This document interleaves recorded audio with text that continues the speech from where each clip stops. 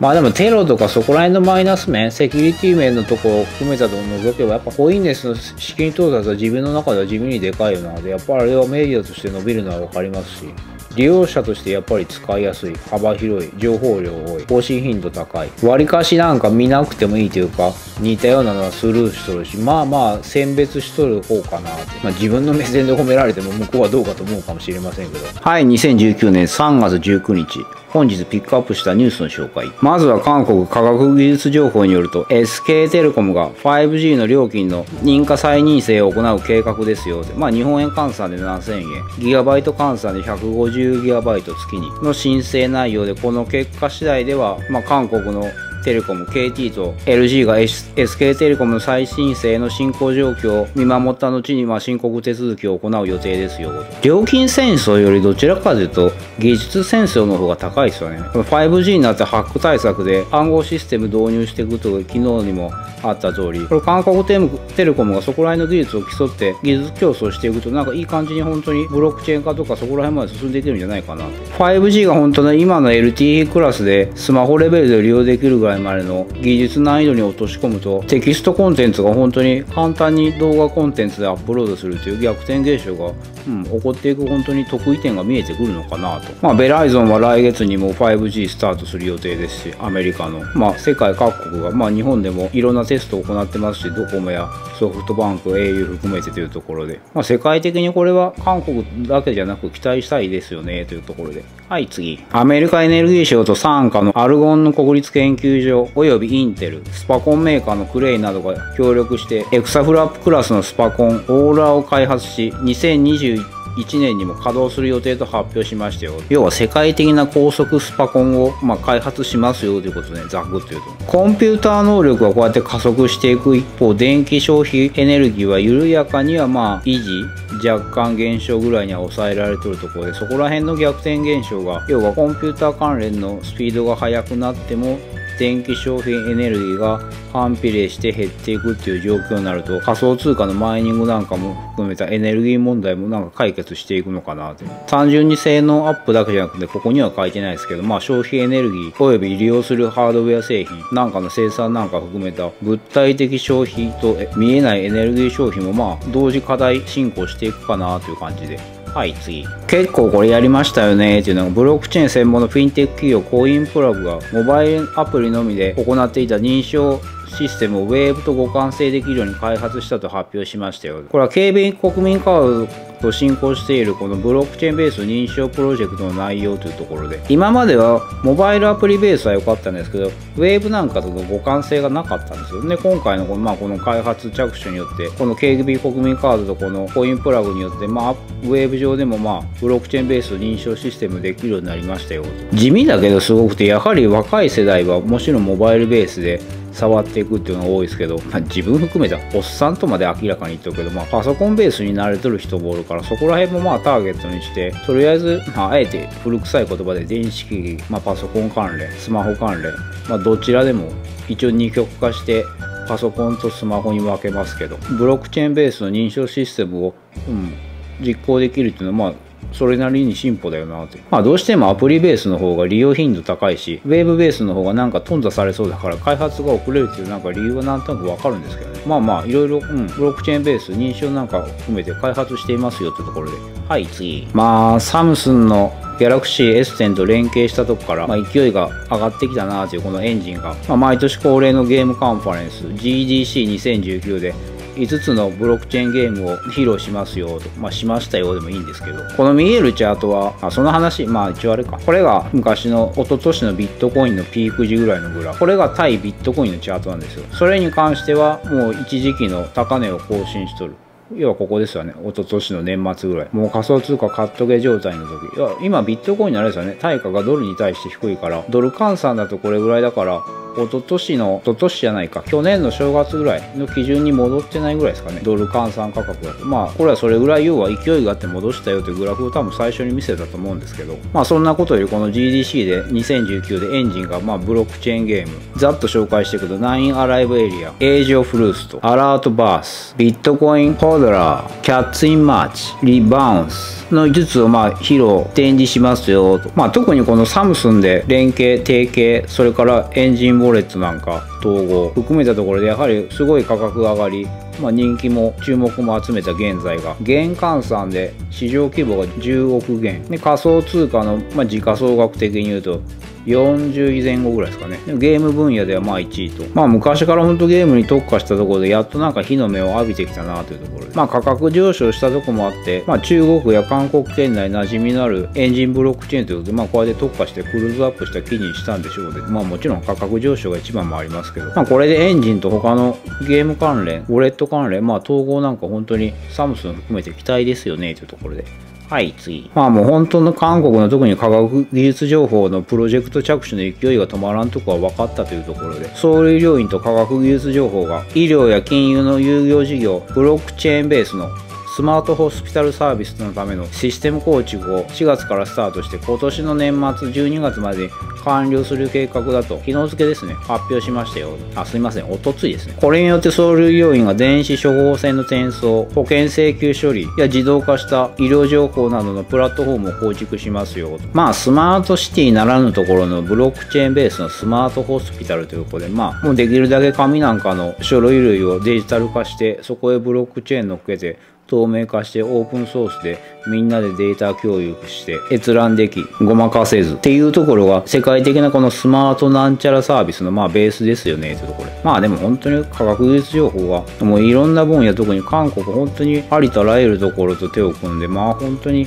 多種多彩に手をかけてるなと当然このスマートホスピタルが科学技術情報中心の2019ブロックチェーン公共リードモデル事業の一つだからまあ他にもゴロゴロこんなプロジェクトが眠っとるということで、まあ本当にもう言う言葉飽きてきたこれ、パないねえがもうぴったりというところで。はい、次。オーストラリア政府はブロックチェーンを後押しするために、オーストラリアのドル換算で10万オーストラリアドル、アメリカドル換算で7万1000アメリカドル、投資計画し,、ま、していますよと。まあ具体的にはオーストラリアのブロックチェーンスタートアップなんか中心にこの資金を投資提供寄付サポートしていく予定ですよと。まあこれはオーストラリア問わずにどこの国もまあ俗に言うスタートアップへの特にブロックチェーン関連へのまあ投資援助サポートまあどんな言葉でもあれですけどまあ資金流入注入、うん、していっていますよねというところで。具体的にどの企業やどこへどうのこうのというとこではなく大まかになるですよね。まあブロックチェーン関連へ力を入れてそこへ投資していきましょうってしつこいけど同じ言葉でまあ締めくくりますというところで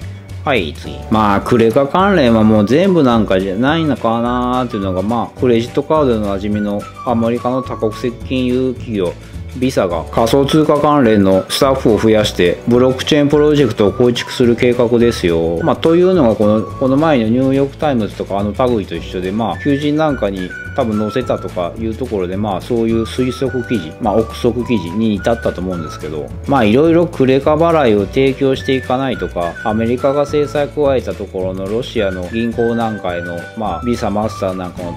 取引関連をまあカットしていくとか、まあそういう話はまああるんですけど、最終的にはやはり便利で有利な技術だから、なんか意固地にならずに、まあとりあえず採用した方がいいんじゃないのというの結論ですよね。やってみてなんか不備があるなら、まあやめやればいいしということで、まあ、食わず嫌いじゃないけど、とりあえずブロックチェーン食べてみてから、まあ試せばいいんじゃないのって。やってもないのにいいか悪いか、まあわからんよという感じで。まあちょっとここら辺のクレカ関連の会社は足の遅さはまあ若干目立ちますよねというところで。はい、次。仮想通貨取引所フォビグループの韓国バージョン、フォビコレアが、フォビコレアの取引所トークン、フォビトークンが、国際的取引所、インターコンチネンタルエクスチェンジの仮想通貨管理データサービスに含まれていたと発表しましたよ。では、このニューヨーク証券取引所と仮想通貨取引プラットフォーム、バックトの親会社、インターコンチネンタルエクスチェンジが、ツイッターなんかを介して、クリプトカレンシーデータフィード、要は仮想通貨データフィード、サービスの中に、フォビグローバルの韓国取引所、韓国のフォビトークンをまあ、掲載しましたよ。要は、インターコンチネンタルエクスチェンジの子会社にベクトがおるから、まあその関連で上場される可能性があるから、まあ期待感を煽ってるっていう内容の記事ですよね。まあそこの記事の表面にあるのがリストアップされたところで、まあ EOS の名前もあり、下がっていけばライトコインなんか、まあありますし、まあそれなりの、まあ名前を聞いたことあるようなところ、ダッシュもちらっと見えますしというところで、まあ一種のネームバリューに乗っかったっていう感じですよねというところで。はい、次。ネーム財団が最近の資金調達などから、最新版のイニシアチブに関する情報を提供しますようで、これがまあ日本語バージョンの方で、翻訳の方でいくと、中国語、スペイン語、ロシア語、日本語、イタリア語があって、まあ当然僕の日本語で読んだ方がそんなもん分かりやすいというところで、まあざくっと最近の資金調達に関するものや、スタッフの辞任や移動、まあレッジャーなんかの技術統合、それからネーム財団によるカタパルトのロードマップ、まあそんなとこをサクッと、まあこんなことをやって変更しましたよという紹介というところで、まあネムはどうしても最終目目標としてはやはりこのカタパルトプロジェクトが絶対に止めずにこかしたくない、最後まで遂行したいという強い意志が現れとるから、まあ汚い言い方すると多分何でもやるでしょうね。まあでもガッツある軍団と思いますよ、やっぱり。コインチェックハックから、まあいろいろあって、それでいい意味でも悪い意味でもまあ名前売れたし、技術的なプラットフォームとしてはやはり使いやすくて利用しやすいという、まあユーザー意見も多いから、まあそのうち本当に開発プラットフォームしてふっと時価総額10位以内とか別に上がってきてもおかしくないんじゃないかなって。これはリップル同様結構評価の低低い、まあ、トークンだと思っていますけどというところで。はい、次。台湾で原子力関連の最終処分場を2055年に完成予定の計画ですよ。まあこれで原子力発電所が最終処分場になっていくのかどうかはまあどうなのかなというところが個人的な意見ですよね。世界的にはやはりチェルノブイリや日本でいうと東北大震災に福島原発なんか含めたところがやはりまあ印象に残っとる部分がある一方危険ではあるけどエネルギー的には必要っていう、まあ、あった方が便利っていう言い方の方があれですかね。柔らかく言うと。技術的な追求としては、開発をなかなか止めれんとこもある一方、あの、モンジュと一緒で日本の、まあ、あるいは実際に停止するにも金がかかってなんかどっちつかずなんか右往左往状態ですけど、まあ、処分場があってお金がありゃどんどん開発してばらまいてもいいのかってそれはまた別の問題ですけど、まあ、これも台湾だから問わず、まあ、日本だって似たような状況におるからまあ直面している問題ですよねというところで。まあ賛成反対はさておいてまあ知識としては本当深めていった方がいい分野だよなというところで。はい、次。トルコとイランが PKK のテロリストに対して共同作戦を実施しましたよ。昨日付けの話ですね。これも未来予想図的な話なんですけど、テロがおるから撲滅したいのであって、自由と一緒で、不自由だから不自由の中に自由があるわけで自由になった瞬間に不自由っていうのはなくなるからテロがなくなった時はテロに対しての悩みがなくなる。要は不自由だから自由になりたいという望みがなくなるからそうなった極地に立つとどんな状況なのかな。単純に非生産的で無駄だからやめてほしいっていうだけで。まあこれも技術の肥大化としてある意味反面する直面している問題ですよねと。まあめんどくさいこと言わずに気楽に行こうというのが一番なんですけど。はい次。まあこの流れは顕著なんかなっていうのがスラックが独自のセキュリティキーを作成して、スラックで共有する会話やファイル、データの暗号化や復元化を制御するツール、エンタープライズキー管理、EKM を発表しましたよ。これ日本ではあんまり馴染みないかな。まあメッセンジャー的な連絡ツールとしてのスラックはしっかりこれ Twitter や Facebook、まあ、テレグラム、極端に言うと、まあ、Google の Gmail から、うん、そんなところも、まあ、この暗号化、最終的にはブロックチェーン化なんかは進んでいくんじゃないかなで、Facebook なんかは多分、そうしたいと思っていますし、資金的な問題より技術的な導入難易度の方がなんか高いのかなテレグラムなんかはまあ多分そういう動きだと思いますし、ツイッターはちょっとそこまではあれなんかな Google とかなんか Amazon はそこまで力を入れとる感じではないですけど、まあテレグラムがやっぱり一番顕著かなと、うん、個人的には感じている限りで。はい、次。これもどうなんでしょうねというのが、ハック後ニュージーランドベースの仮想通貨取引所クリプトピアは3月末までには再開する意向を示していますよ。まあこれちょろちょろついでは投げとるんですけど、まあそんなに急がんでもいいし、一応はウォレットステテータスなんかまあ更新したりまあ交代はしてず進歩はしとる一方。なんかこらいの経過情報を見とる感じではなんか辛そうかなーって思っとんですけど。まあバンコールとかしっかりハックあってもまあ復活して進めたくてプロジェクト技術開発しとるとこもあるからまあ諦めないのが一番なんですけど。なんかあんまこうやってついたり投げてもなんか有言実行シーンとちょっと信憑性がなんか乏しくなるよなというところで。はい次。ハッカーが UTC 時間。8時46分から9時18分。昨日付の話ですかね、多分。日付はないであれなんですけど。まあ、EOS ダップスの EOS ベガスにゲーム通貨引き出すためのメカニズム、トランザクションブロッキング、CVE20196199 メソッドを利用したことを明らかにしましたよ。まあ、相変わらず複数あれど、今までとあった似たような攻撃で、まあ、この EOS ダップス関連もまあ、やられとるって言った方があれですかね。うん。だよなぁと。まあ、ほんとなんかテロニュースみたいななんか日常茶飯事にななったのが逆になんか嫌な感じですけど。はい。そんな感じで次。15日にフィリピンの海岸で餓死したクジラが打ち上げられ、翌日に亡くなったことが明らかになりましたよ。とそれからの観光環境保護活動からが昨日付に明らかにした内容で、まあ、このクジラの中に写真にもある通り約40キロぐらいのまあプラスチックのゴミがまあお腹の中に溜まっていましたよと。まあ言いたいのはやはりフィリピン関連なんかは多分あれですよね。日本なんかでも今まで輸出してましたし、まあ俗に言う参拝関連のゴミなんかを出しとるから、まあ使い捨てのプラスチックの依存度が高いということで、まあ最大級の海洋汚染国とまあ認定されていますよというところで、こういうこともあると本当あれでしょうね。プラスチックを利用しないという動きがもう世界的にやっぱ加速化していくのはもう目に見えてますよねと。そりゃ体内からそんなレジ袋やゴミゴミ袋なんかの類のプラスチックが見つかって、まあ死因はこれ一応なんか餓死だって言っとるんですけど、要はこのプラスチックがあるから胃の中に入ったのか、食べたのか食べてしまったのか、食べてしまったという見方の方がまあでかいと思うんですけど、だから他に食料を取れなくなったっていう意見もあるのでまあ中す動きはもう、うん、顕著にこれはもう見えますよね。ってクジラクジラだからいい人間だからダメというまあそういう問題じゃなくて根本的な全世界的なあれですよね。環境を含めた人類の問題だから。意外にこれはでかいよなっていうところで。これが人間だったらもう大騒ぎですもんね本当に。問題のすり替えじゃないですけど。はいまあそんな感じで次。カナダのオンラインリテイラー。まあオーバーストック .com が3月18日に発表した第4四半期の決算報告書で2018年の損失を計上しましたよ。まあ、このオーバーストックの T0 仮想通貨プラットフォームなんかは、第4四半期の税引き前の損失が1000万ドル以上だけど、まあ、新しいプラットフォームの数字には反映されてないというところで、ここら辺にやはりあれなんでしょうね、仮想通貨関連に手を入れたいけど、やはり、まあ、売上的になかなかいい数字が出せてないというところで、まあ、株主関連もあり、数字を出せんことにはここら辺やはり力を入れるとかちょっと難しいのかなまあ、マイニング関連ではビットメインしかり、ハードウェア関連では NVIDIA しかりで、まあ、物理的に損益分岐点を割っとるところで、どうあがいてもやはり売り上げを叩き出すというのは難しいですよね。魚が釣れない池ではなく、餌を入れれば入れるほど餌がマイナスになるような池ですからね。まあ、仮想通貨ぼちぼち回復しつつあるので、ビットコインの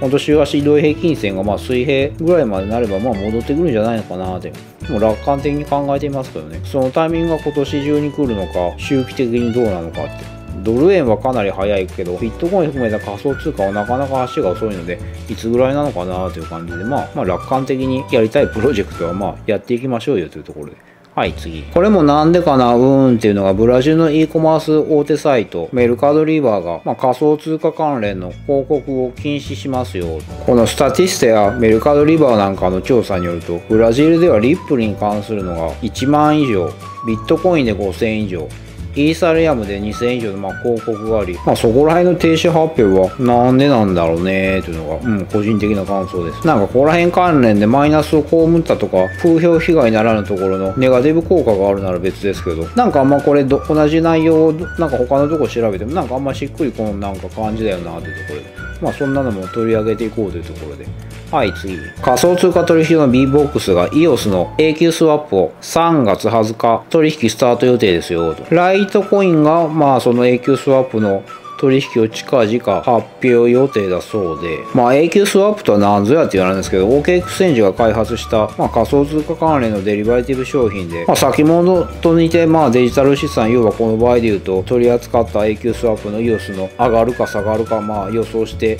取引ポジション取っていくんですけど、まあ、先物と決定的に違うのが満期がなくて、まあ、日時要は毎日生産していきますよと、まあ、ここら辺の金融商品もちょっと本当にギャンブルチックなところは、まあ、そんなことにしては株取引はギャンブルチックって言われですけど結構これはなんか日本と違って海外マーケットの方がなんかこの手の金融商品をものすごい好まれてると感じるな、まあ、だから逆に市場として成長していくんだろうなというところで。日本関連だとなかなかあれですもんね。ここまでの金融商品特に仮想通貨関連でまあ規制の問題もあってなかなか扱いにくい部分はまああるのは分かりますけどというところで。まあまあこれはもう英語圏内の仮想通貨取引所はもう各取引所いろいろこうやってあの手この手で増やしてますよということで。特に仮想通貨時価総額上位トークに関連した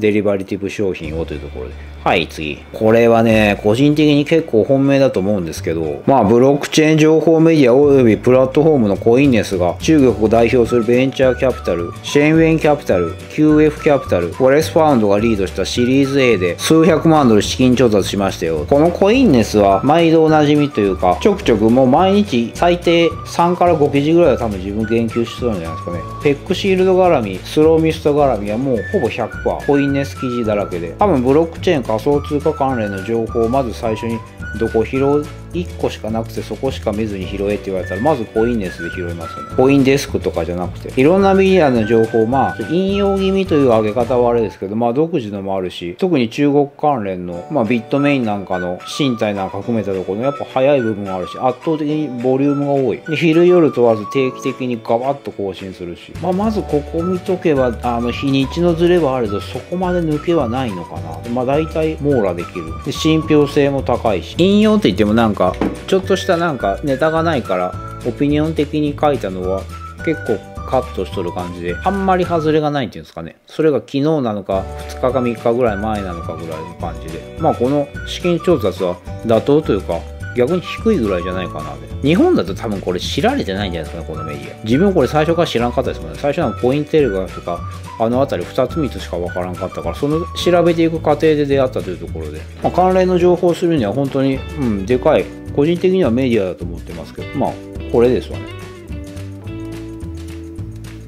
まあまあはい。そんな感じ。次。プーチン大統領がメディアのフェイク情報やフェイク情報のブロックや罰金に関する法律に署名しましたよ。フェイクニュースに関連して最大150万ルーブルの罰金がありまあよろしくない情報を公開しているサイトは情報削除しないとブロックされる可能性を含めますよ。と。まあ、この前のあのエステア関連の論文を盗用とかのもありましたけど、ここら辺もブロックチェーン絡みになってくると逆にブロックしたり削除したりとその後の処置をどういう風に対処していけばいいのかなってまあ自分の中でちょっと課題かなって。削除したりまあブロックしていくのは別に法的にはそこまで難しくない一方。一度でもデータとしてサーバーに上がったまあ瞬間的に正しいと認識された情報を正しくない好ましくない嘘フェイクなんかで認証していく情報に変えた結果をどうやって表面化していくかなというところがまあまあちょっと自分の中で課題というところで。はい次。まあこれは国内通貨が信用されてない国なんかまあ顕著ですよというのがビットコインがラテンアメリカで利用増え特にベネズエラに次いでコロンビアでの利用が増えていますよローカルビットコインが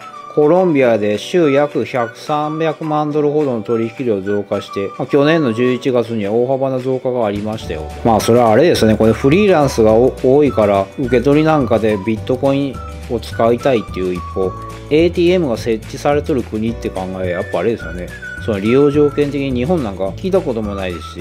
そのニュースの類でこうやって海外で置いてあるというだけで実際に自分見たことないですもんね。現物を写真とかこの動画ならありますけど。それだけ考えてもやはり緊急の利用性が国にとって必要なんだよなと、うん、まあ感じられますよねってところで。はいはい。まあそんな感じで。次。まあこんだけ生産効率悪いんだでやめろというのがフランスの黄色いベストデモで1億7000万規模ユーロの被害が発生していますよ。約3週間ほどわたった、まあ、この黄色いベストのまああそこまで過激なデモに関する被害損額というのが、まあ、週末のシャンゼリゼなんかの前でもこれぐらいまあ1億7000万ユーロ規模がまあ推定されていますということで、これはっきり言ってあれですもんね。怪我人出すし、逮捕者ですし、鎮圧する方だってそれなりの労力いるし、デモする方だってもっと労力いるし、なんかあんまりプラス側面になる生産効率が全くないよなというところで、まあ、ちっちゃい声でいい加減気づけようって言いたいですけど。はい、次。まあもう本当になんか世界的になんかテロの動きが加速化して止まらんっていうのが、まあこれはもう毎度おなじみというかもう世界レベルで浸透しとると思うんですけど、オランダのユトレヒトで発砲事件発生して、まあ少なくとも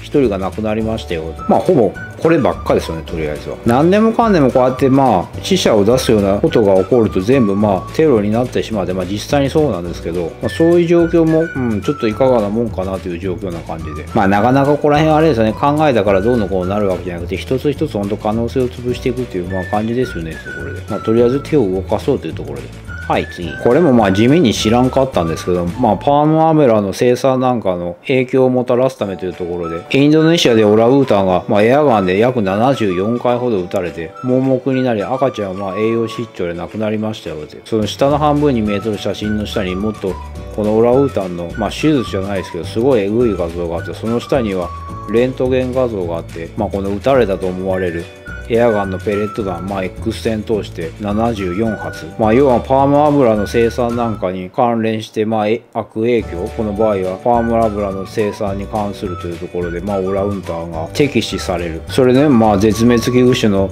指定なんかもあってというところで。もうこれはもう知らんかったのでこれでなんで最初なんかオラウンターいやなんでそんな撃たれてそんな記事になっとんだという感じでああ調べていく過程であそういうことなんだってことで。まあまあこんなこともありましたということで。はい次。まあここら辺もなんか言われて納得したんですけどまあベネズエラの停電なんかであってビットコインの取引ボリューム減少起こったことによってフレンス・コッポラがビットコインや仮想通貨業界は電力なしは不自由になるなると主張していますよそりゃそうですよね。って言ったらこの反対意見としてはまあ配電網が起きても大丈夫だみたいな米もありますというところで。まあ確かに電気関連は全部が全部世界的に一気にシャットダウンされるわけじゃないから、ネットでも全部止まるわけじゃないし、まあ電気でもそこら辺で言うと天文学的な数字だから、まあその確率は考えるのが無駄だよなっていうとこありますけど、ベネズエラなんか確かに見るとそうですよね。どうしても全世界的にいろんな取引関連を電気に頼っとる部分が多いから、ネットだけ多分止まってもみんな不自由になると思うし、まあ、電気なんか止まりゃ何にもデバイス関連動かせんし、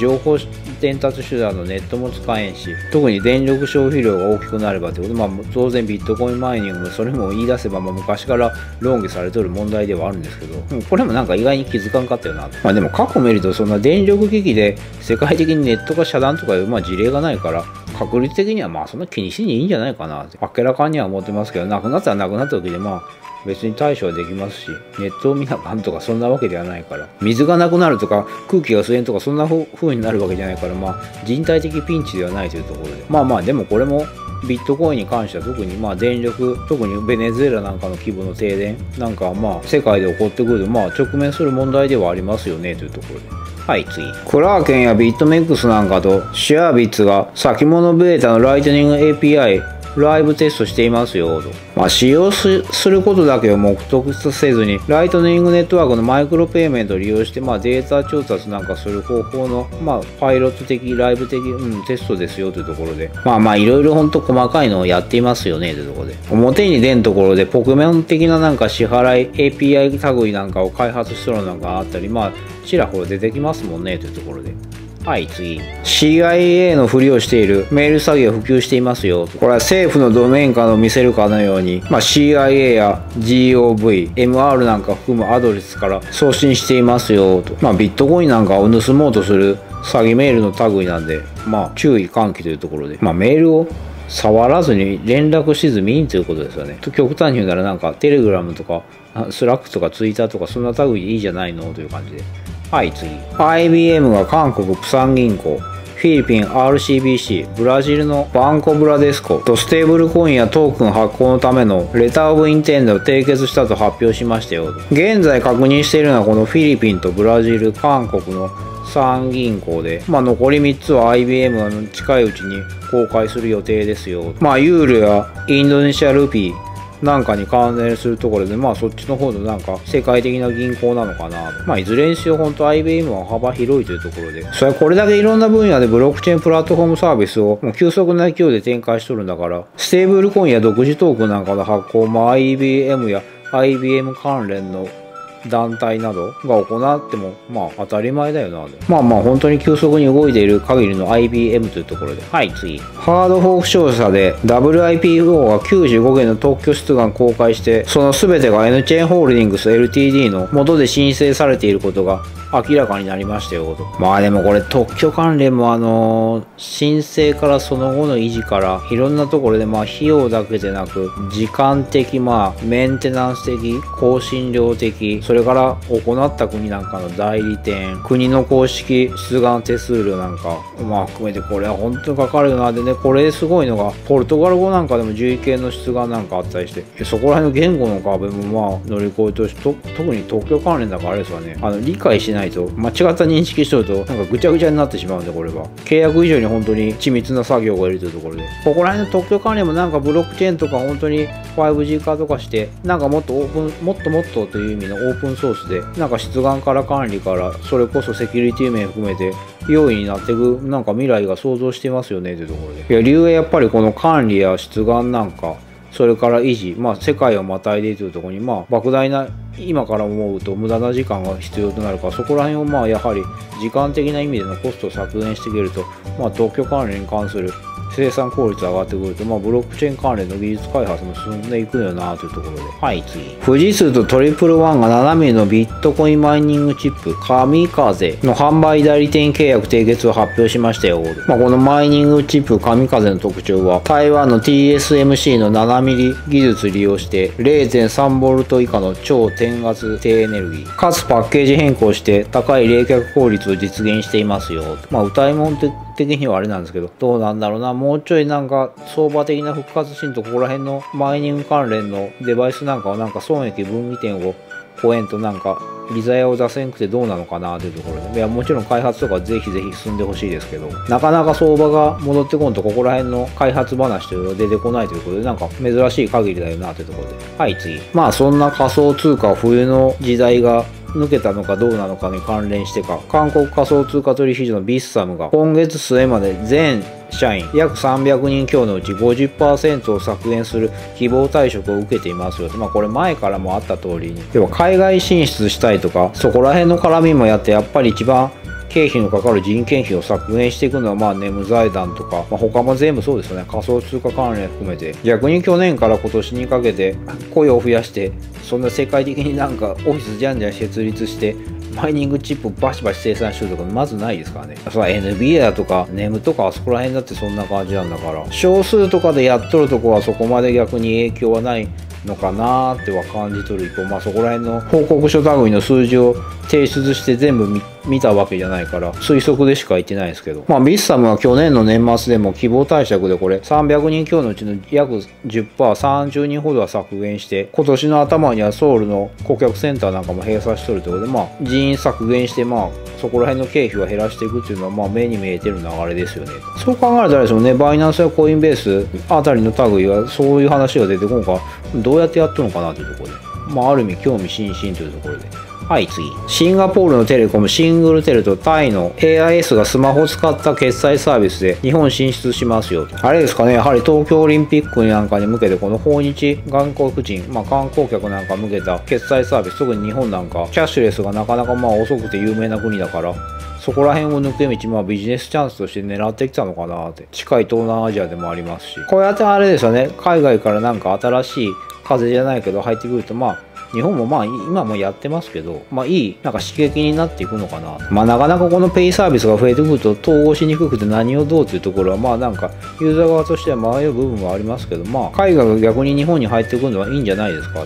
こういうのをなんか閉鎖的にせずにあっさりなんか受け入れたのもなんかちょっと日本的に変わってきたのかな。あんまなんかバイアスのある目で見ないようにしましょうという自分への戒めの込めて。はい、次。セキュリティ企業アメリカのパラアルトネットワークが、ルーターや防犯カメラに感染するマルウェア、ミラリが企業へ攻撃する可能性あり注意喚起を促していますよ。一応この塊っても別に自分もわかんないんですけど、法人向けのワイヤレスプレゼンションシステムの WePresent WIPG1000 と LG スーパーサイン TV の脆弱性をつぐコードが埋め込めましたよということで、まあ、常に本当になんか人間の作ったもの、まあ、プログラム上で弱点をつくというところから、ここら辺のマルウェア関連の、まあ、顕著な特徴というところで、まあ、本当セキュリティ関連は本当戦いですよね。ここを制したところがなんか本当にブロックチェーンだけじゃないですけど、まあ、このサイバーセキュリティ界隈、特にデバイス関連、少しでも1ミリでもネットに触れるデバイスならもう避けては通れん問題だよなとこで。はい、では次。これはなんか一体何がしたいのか意味不明で逆に取り上げたんですけど、リトアニアの仮想通貨取引所、カイセレックスが KYC 削除してユーザーがメールや国、パスワード登録だけで入力取引開始できるようになりました。いやこれ削除していいんかいって感じだよ。いやそんだけのなんかセキュリティ面のことできるんかな。いや取引とかのためにその会員化して登録なんかしやすくなってやりやすいっていうのはわかるんですけど。バイナンスなんかでも KYC やウォレットなんかも別部門みたいにして特化企業なんかで、まあ、提携して買収したりとかでそこら辺をサポート強化してる一方。これ大丈夫なんかなって。あのいい意味じゃなくて悪い意味で。なんか文章短いです。下のリンクにある動画見ても全然しっくりこんしなんか全く納得いかんよなというところで。そんなんで本当にいいのかいという意味逆の意味で取り上げました。はいそんな感じで次。まあ昨日付けですね。最近安値を切り上げなんとかそこが見えたかなっていうの。ステラルーメン XLM がコインベースで一般投資家向けの取引サポートしていますよまあどうしてもコインベースで扱ってもらうって言ったらあれだけど、まあ、この場合被害じゃなくて利害だから何々してもらうにしましたけど、まあ、やはりここら辺のサポートいくと、まあ、価格面なんかに影響を与えるところありますよねというところで。実際にまあコインベースで、まあ、取引追加サポート上場リスティングまあどんな言葉でもあれですけど、まあ、要は取引されるようになるってあんまりマイナス面で出てたとこでそうないから、まあ、ここら辺もステラの本当に一時期ちょっと前ぐらいですかね数週間前ぐらいかな安値切り下げとったところをまあ考えると、まあ、少しでもサポートにはなっていくのかな。まあコインベースプロで先週サポートしてまあ今回は一般投資家向けにまあ開放というところでまあ時価総額上位のまあ順番に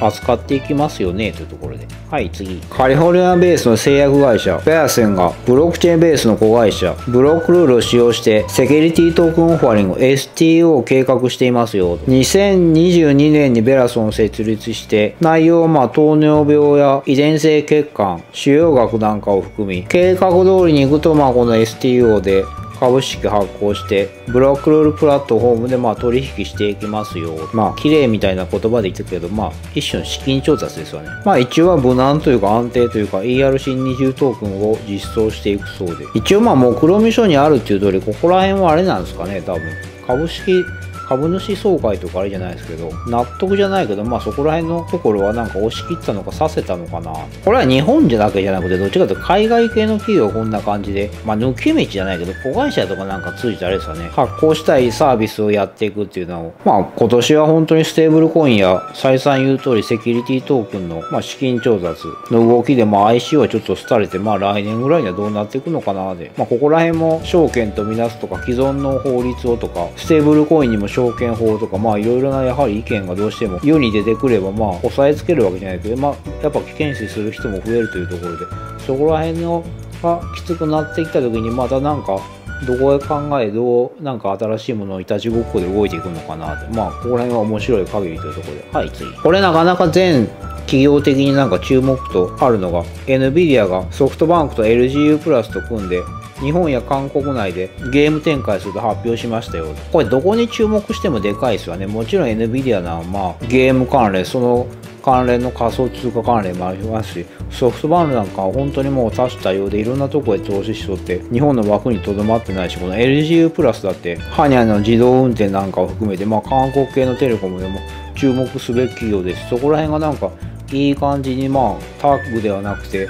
2人じゃないから。トリプルとかまあそんな感じになるんですけど。韓国や本当に日本なんかと、まあ、これは NVIDIA のアメリカなんか含めてなんかいい橋渡しになればあれかな。韓国なんかと本当に日本は絡んでくるとこっからまた他のところへゲーム関連なんかもなんか幅が広がっていくと。当然 5G のテレコムだからまあもちろんソフトバンクとソフトバンクまで当然テレコムに関わっとる部分もあるから。いい感じにそこら辺のなんか技術拡大していけるともうこれ楽しみだよな、まあ、5G がもう視野に入っとるのはもう見え見えでわかるんですけど。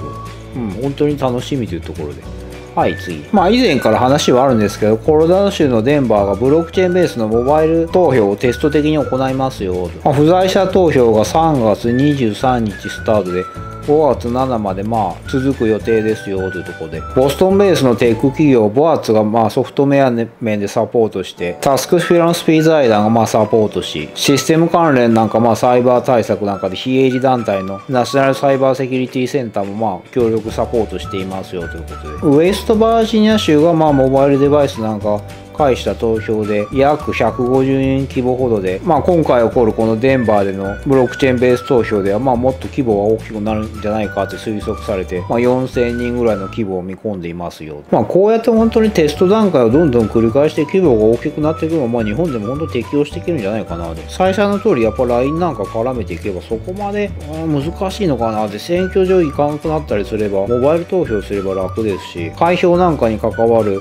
人件費や時間などから短縮できまあセキュリティ面の問題をこうやっていろんなテック企業やサイバーセキュリティ企業なんかで、まあ、特化したところと組んでやっとるというところで、ブロックチェーンベースに残せれば、公約問題なんかも含めて、まあ、消せれないとまで言わないけど、ほぼ改ざん不可になるが、そこら辺も含めて、まあいいんじゃないかなほんと、ツイッターのあの4択アンケート感覚で、この世界的な選挙規模に落とし込まれると、は随分楽だよな。ほんとあんなポチポチ感覚でやりやすくなるよなって。悪い意味でも、もちろんいい意味で利用を考えているんですけど、はい、そんな感じで次。ハウステンボスと九州州大学、リビングボットにドコモが衛星システムの導きを利用した 5G パイロットを九州大学キャンパスで実施しますよ。これが本日行って、まあ、初めて見た割かし事前告知のないなんか見切り発射的なかなーって受け止めていますけど、本当あれですよね、5G 利用すれば今まで回線的困難で難しかった分野に関しても適用できるからいいよなーで。それは遠隔治療とか、あの韓国、ヨーロッパのスマートファクトリーに 5G で